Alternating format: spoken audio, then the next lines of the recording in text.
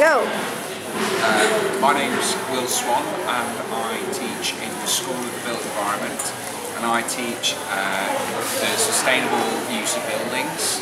Um, the uh, concept that I'm interested in dealing with here is the concept of comfort in buildings, um, which is an important concept because most energy that we use in buildings is related to people being comfortable. So that's um, heating systems, air conditioning and cooling. Um, and a lot of the ways that buildings use energy badly is how people manage their own comfort in buildings. Um, I'm going to be teaching this to a master's group um, of two people in the Sustainable Design uh, Masters that has just started this year. Um, both of those students are of an architectural background.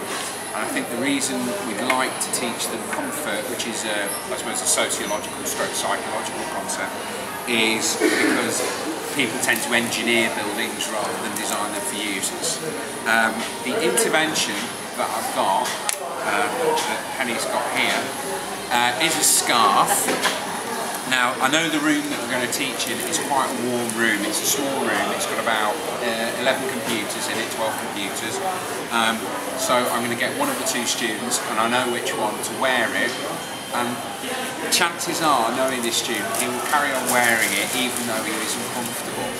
Um, the concept I'm going to try and get here is about sort of relative comfort, um, the differences between people's experiences of comfort, and, and, the different types of things that people do to manage comfort.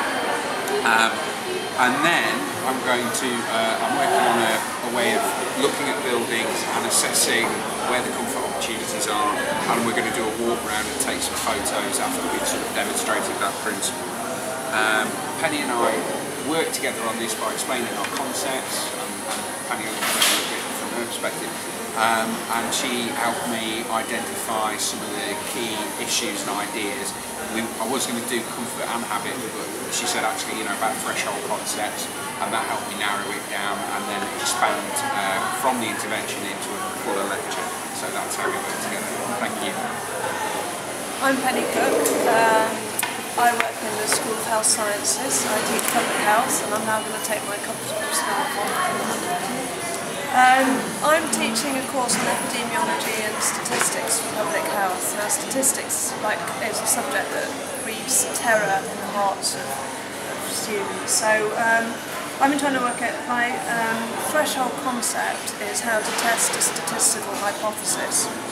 Okay, so the kind of classical example it, uh, would be you could have two groups of people and you give one group um, a, a, brand new drug that you've just developed that's going to um, improve outcomes for a disease and you give other, the other group placebo or the current drug and you want to see whether your uh, inter intervention has worked. Well obviously I can't demonstrate that with my students um, with a drug so what I'm choosing is So I'm going to get two groups of students, um, just four, uh, well, to get eight students, four of them will get a piece of chocolate each, and um, I'm going to I'm going to test the statistical, although my research hypothesis is that um, chocolate makes you happy. So um, yeah, here's my model student here, and he has the questionnaire.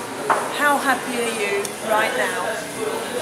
Okay, now having the chocolate, he fills that in.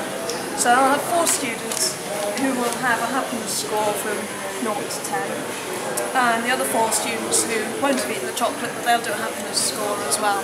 Then going to shuffle the students around into a different set of two fours groups because statistical theory suggests that if you randomise, um, you keep randomly shuffling the then the difference in happiness scores should more or less be zero, okay?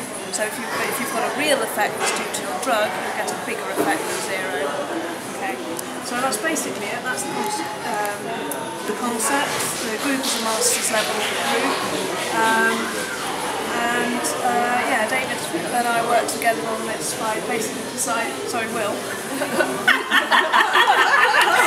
basically decided that, um, deciding that uh, yeah, we couldn't actually give the students a drug or measure any, any kind of chemical component in their blood or any of the other things we would try, we'd like to do in a, in a, a, um, a health study.